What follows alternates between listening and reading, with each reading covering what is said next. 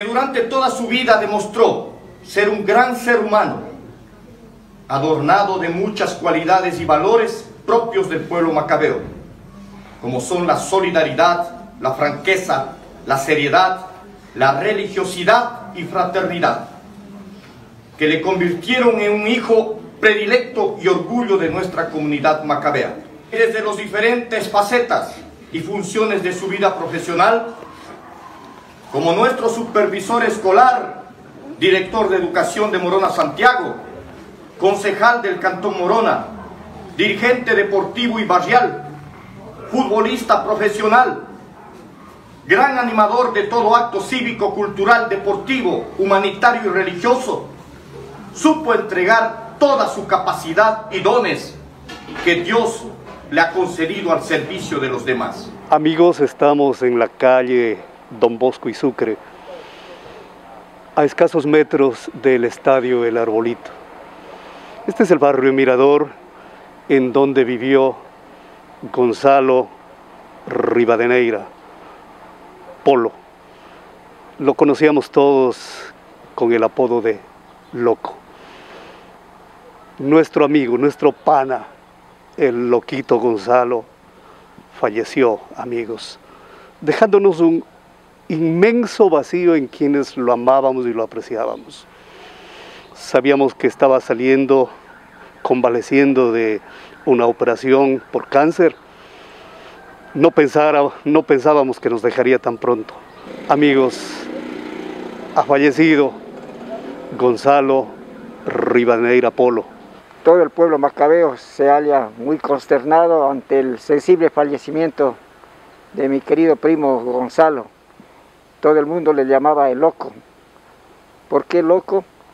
Porque fue un deportista aférrimo que pasó por el fútbol profesional con Andes Glorias, pero muy enamorado de su tierra, retornó para estar aquí presente, vivirlo y disfrutarlo con mi familia. Yo vivo muy cerca a él y he podido compartir en los momentos deportivos, en la selección de la provincia y, con sus enseñanzas que siempre fue para dar.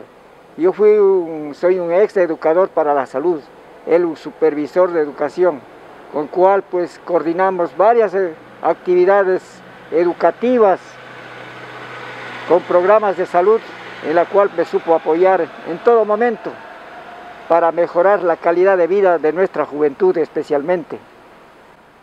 Luego de ello, el servicio social siempre fue también colaborador en el barrio, en todas sus actividades.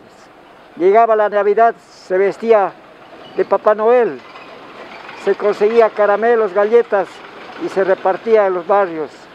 Acostumbraba también a apoyar en las comunidades shuaras, de la cual pues su gran virtud, se puede decir, tenía una creencia indomable en la Purísima de Macas, ha sido prioste, capitán, siempre estuvo con la misión salesiana coordinando actividades educativas y religiosas. Es un hombre que no tiene idea, por eso le decía loco, salía con sus ideas, colaborador en todos los programas que había en las festividades de la ciudad de Macas, con sus historias, sus leyendas. Es un hombre que se nos fue. Verdaderamente me ha dejado muchas enseñanzas y me hallo muy apenado.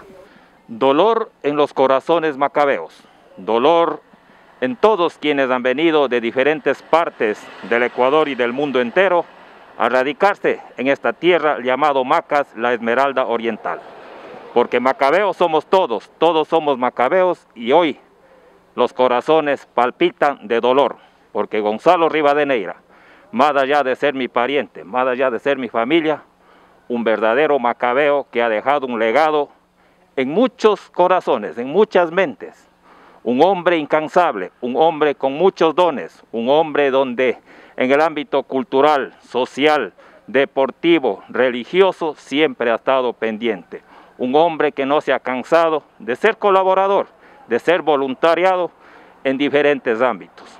Un maestro, un educador, un deportista, y por qué no hoy decir a Macas, a la provincia, él fue uno de los primeros deportistas que tuvo el honor de estar pues, en, los grandes estadios a nivel nacional.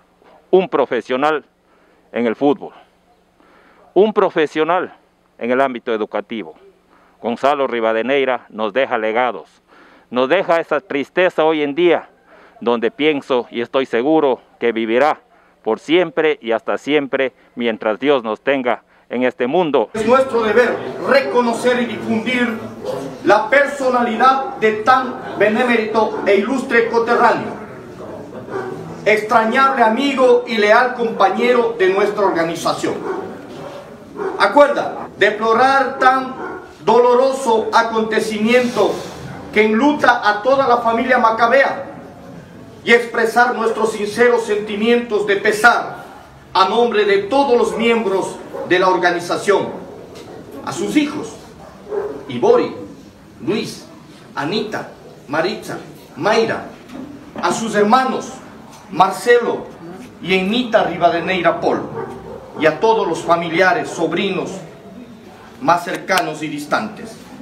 Recomendar su nombre a nuestras futuras generaciones como paradigma de lealtad, honestidad, sacrificio, filantropía y honor.